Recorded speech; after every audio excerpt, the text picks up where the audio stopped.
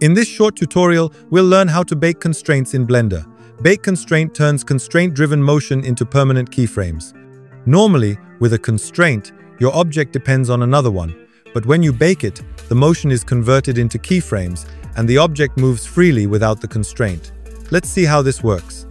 Add a cube and also add a circle curve. Scale the curve a little bigger. Select the cube, go to the Constraints tab, and add a follow path constraint.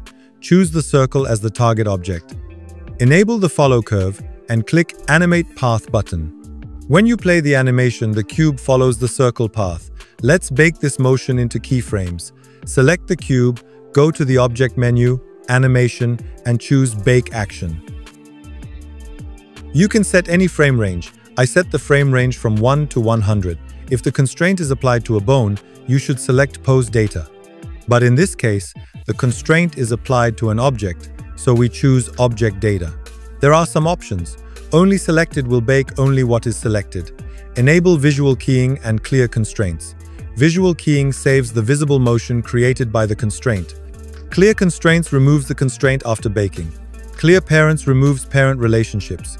Overwrite current action replaces any existing animation. Clean curves simplifies the keyframes by deleting unnecessary points. In this case, we enable visual keying and clear constraints and leave the others unchecked. In the channel section, you can choose what to bake. Location controls the object's movement. Rotation controls the object's orientation. Scale controls the object's size. To keep the animation simple, I will include only location and rotation. Click OK and you will see the cube's motion converted into keyframes. The constraint is removed. The cube is now independent, and the animation is ready for export.